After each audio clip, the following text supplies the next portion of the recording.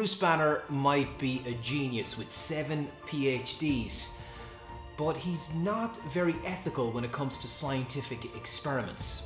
In this video, I'm going to take a closer look at the unethical Hulk.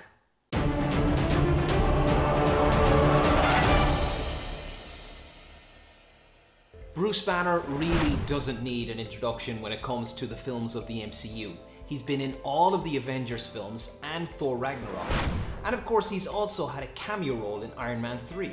In the MCU, Bruce Banner was trying to recreate the super soldier serum given to Steve Rogers during World War II and he thought that gamma radiation was the key. Of course, things didn't go as planned for Bruce Banner, and after exposing himself to dangerous amounts of gamma radiation, he permanently changed his DNA so that when he gets really angry, he transforms into a big green muscular monster.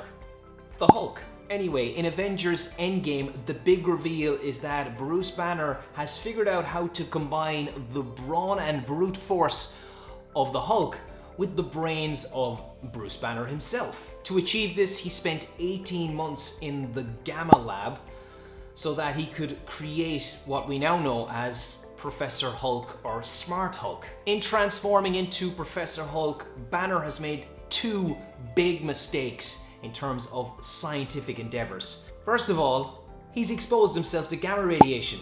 Not a great idea. And secondly, he's got involved in a little bit of self-experimentation, which to be honest, isn't a good idea either. Gamma radiation is a form of electromagnetic radiation, just like radio waves or visible light. Visible light is the light that our eyes can actually see and process.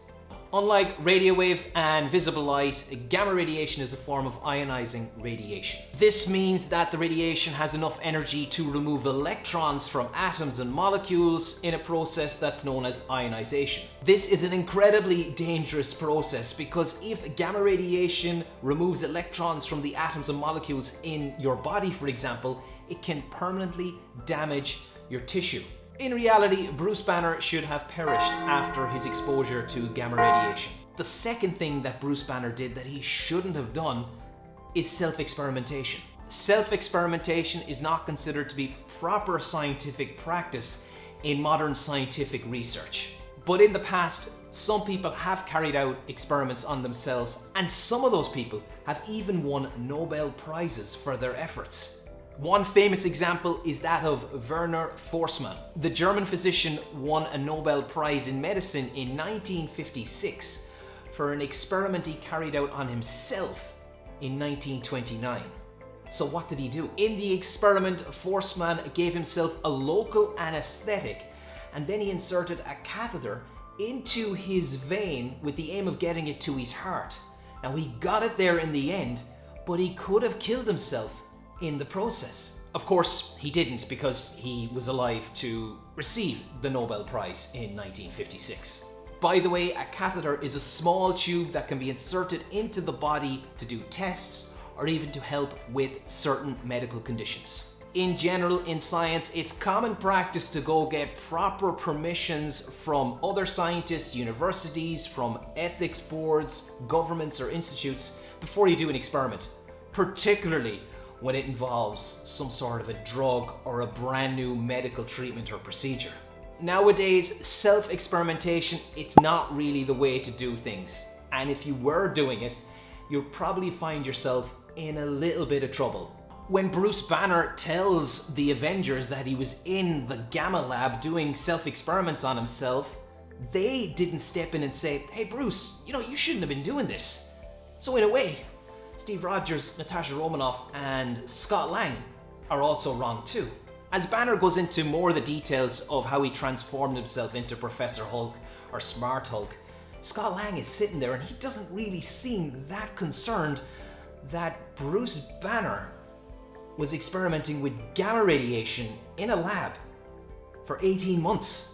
In reality, Steve Rogers and Natasha Romanoff, were sitting there listening to it, really should step in because they know Bruce Banner better than Scott Lang. But then again, Rogers and Romanoff were also subject to some unethical, unapproved, and rushed medical treatments. So in a way, you know, it's par for the course for them. So what's the conclusion? First of all, Bruce Banner should not be congratulated on self-experimentation.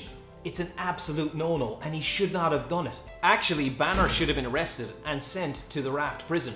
But I wonder if the Raft prison would have been able to contain the might of Professor or Smart Hulk. And of course, who actually gave Banner permission to do all of these experiments in the first place? It's truly bonkers. Number two, as mentioned, he should not have been experimenting with gamma radiation and instead of giving Bruce Banner superpowers, it really should have killed him. Thanks for watching and be sure to stay tuned for more videos about scientists and engineers in superhero films. I've been Dr. Barry Fitzgerald, the superhero scientist, and until I see you next time, always think super.